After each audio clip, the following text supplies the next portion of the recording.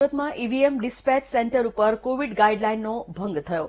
ચૂંટણી કામગીરી સાથે સંકળાયેલા કર્મચારીઓ લાંબી લાઈન લગાવીને ઊભા હતા. તંત્રએ ડિસ્પેચ સેન્ટર ઉપર કોરોના ટેસ્ટ માટેની સવલત ઊભી કરી છે.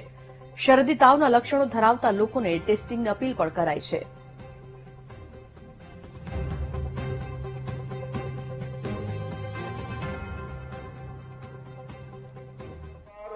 નંબર સુરત મહાનગરપાલિકાની ચૂંટણીને આખરી ઓપ અપાયો છે.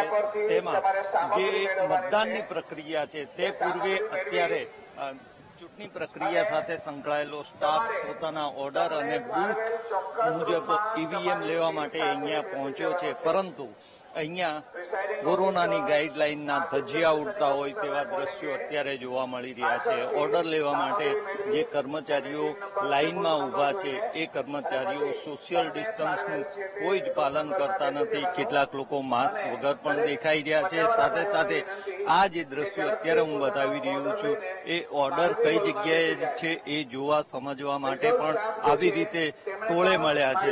બીજી બીજી તરફ અહીંયા કોવિડના જે ટેસ્ટિંગ છે, એને માટે પણ વ્યવસ્થા કરવામાં આવી છે. કોવિડ ટેસ્ટિંગ માટે ત્રણ બૂથ આ ડિસ્પેન્સ સેન્ટર ઉપર બનાવવામાં આવ્યા છે. પરંતુ ખૂબ ઓછા લોકો કોવિડ ટેસ્ટિંગ કરાવવા આવી રહ્યા છે.